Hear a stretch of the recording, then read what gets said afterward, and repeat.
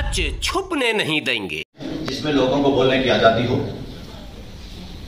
जिसमें बल्कि आलोचना करने वालों का ज़्यादा स्वागत हो, ताकि हमारी व्यवस्था सुचारू रूप से चल सके।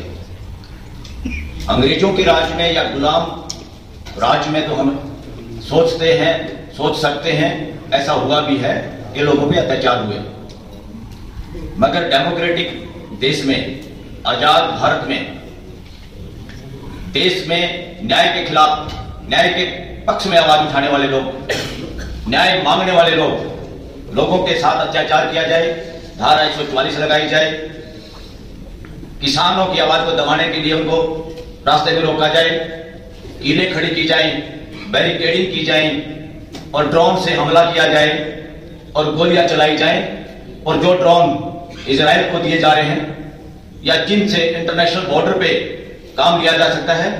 आज़ाद और डेमोक्रेटिक मुल्क में अपने ही लोगों पे ऐसा अत्याचार करने वाले लोग, डेमोक्रेटिक माइंड सेटअप के लोग नहीं है, तानाशाह लोग हैं, गलत तरीके से चुने हुए लोग हैं। ये लोग आज़ाद मुल्क के शासन में बैठने वालों की काबिलियत इनके पास नहीं है। और इससे पता चलता है, क्यों ये लोग ऐसा करते हैं। इन लोगों को ईवीएम के सारे गड़बड़ करके सत्ता हासिल करने का चस्का लग चुका है। जो आदमी लोगों के बीच में जाके रिक्वेस्ट करके, अपनी बात करके जब वोट हासिल करता है तो एहसान से दबा होता है और अपने मुल्क के लोगों की वो बात करता है। और जो आदमी के पास चोरी चकारी की वोट है, चोरी चकारी का पैसा है, उसके उसके लिए इनका महत्व नहीं होता। मैं तो ये कहता हूँ 2019 से में भी, हो सकता 2024 में 14 में भी, ये इलीगल तरीके से चुनी सरकार है। ये असंवैधानिक सरकार है। इस देश में अगर जाँच हो जाती। जिस पाकिस्तान को दिन रात पाकिस्तान पाकिस्तान हिंदू, मुसलमान करते ही लोग नहीं थकते उस पाकिस्तान में हटाया हुआ चीफ जस्टिस, वहाँ के वकील और जनता आंदोलन करके दोबारा नौकरी पे लगवाती है। उस पाकिस्तान में भ्रष्टाचार में प्राइम मिनिस्टर भी जेल में जाता है। उस पाकिस्तान का इलेक्शन कमीशन बड़े पद का आदमी दुनिया के सामने स्वीकार करता है, वीडियो देखा होगा आपने, जो कहता, मुझे चौराहे पे फांसी लटका दो, मेरे से गलती हो गई, वोट किसी और की थी, और हमने गलत तरीके से दूसरों को डिक्लेयर करा दिया। इस देश में बहुत दिनों से ये होता आ रहा है, और आज जो लोग सत्ता में बैठे हैं, वो इसके एक्सपर्ट लोग हैं। साथियों, देश में धारा चौवालीस अंग्रेज़ों ने इसका बहुत मिसयूज किया। आज़ाद देश में इस तरह के काले कानून की कोई ज़रूरत नहीं। जिस तरह से सेडिशन देश धरोह की ज़रूरत नहीं। सेडिशन कानून भी इसलिए था कि बाहर के लोग देश पे राज कर रहे थे, उनके खिलाफ कोई बोल ना पाए, बिना दलील, बिना अपील, लोगों को जेल में ठोको। आज एक रोलेट एक्ट भी उस वक्त आया था अंग्रेज़ों के शासन में, जो लोगों को बिना समनिंग बिना बताए गिरफ़्तार कर सकते थे। आज पीएमएलए एक कानून है, जिसका सदुपयोग तो करना था। उन पूंजीपतियों के खिलाफ जो देश का पैसा लेके भाग के बाहर, उनको बुलाने की बजाय, क्योंकि उन लोगों ने जो मदद की हुई इलेक्शन में। दो नंबर का पैसा उन लोगों से लिया हुआ है, जिससे सरकार ने, सत्ता में बैठे लोगों ने बहुत उस पैसे से लोगों का ज़मीन खरीदने का काम किया और इलेक्शन में प्रचार प्रसार का काम किया। बल्कि इसका अब इस्तेमाल हो रहा है डेमोक्रेसी का हनन करने के लिए, देश में लोकतंत्र खत्म करने के लिए, जिसको चाहो। आज चाहे कर्मचारी है, चाहे व्यापारी है, चाहे कोई किसी तरह का भी काम करता है, लोगों को ये जानबूझ के जो अस्सी नब्बे करोड़ लोगों को निशुल्क राशन देके उसमें भी फ़ोटो लगा के किसी के बाप का है क्या राशन। इस फ़ोटो नहीं लगनी चाहिए, इसका भी हमें बोलना पड़ेगा। ये फ़ोटो लगा के ऐसा कर रहे हैं जैसे कोई धन्नामल सेठ अपनी पॉकेट से ठगी ठोरी मार के फिर जनता को एहसान करना चाहता है। इस तरह से और रेलवे स्टेशन पे और पेट्रोल पंप पे, दिल्ली में भी बसों के पीछे।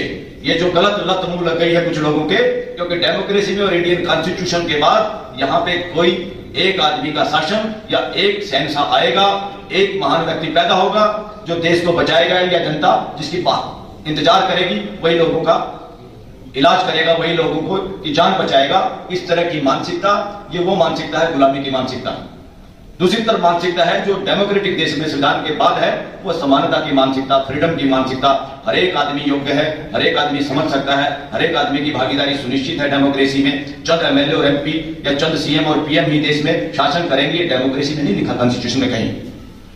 कॉन्स्टिट्यूशन में और डेमोक्रेसी की डिमांड ये है, व्यवस्था की डिमांड है, शासन की डिमांड नहीं है। और ये देश, पुलिस, राज्य नहीं है कि जहाँ जब चाहे लोगों के खिलाफ पुलिस खड़ी कर दी, जब चाहे उनके सामने धारा चौवालीस लगा के बैरिकेड लगा दिए, जब चाहे जो आवाज़ उठाने वाला है उनको गिरफ़्तार करके बसों में पशुओं की तरह भर के इधर उधर दूर छोड़ाए वो धक्के खाते हुए अपने घर शाम को जाते हैं। ये दमनकारी नीति डेमोक्रेसी में नहीं चल सकती। जो लोग इनको चला रहे उनका डेमोक्रेसी में विश्वास नहीं है। वो देश के असली प्रतिनिधि है ही नहीं।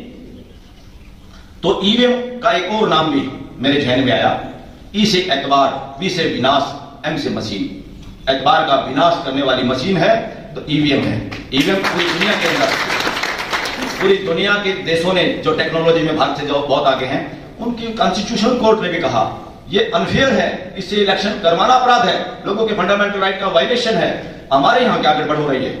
हमारे यहाँ गड़बड़ ये हो रही है, ईवीएम के खिलाफ जो केस भी है वो जिस कोर्ट में है, वो कोर्ट सुनवाई करने की बजाय मार्च में तारीख लगाती है, सुप्रीम कोर्ट में। साथियों, सुप्रीम कोर्ट के अंदर मेजोरिटी एडवोकेट और देश के अलग अलग जगह के वकील भी अब पहचानने लगे हैं कि सुप्रीम कोर्ट और हाई हाई कोर्ट जितनी कमज़ोर होती है, देश में उतनी तानाशाही बढ़ती है।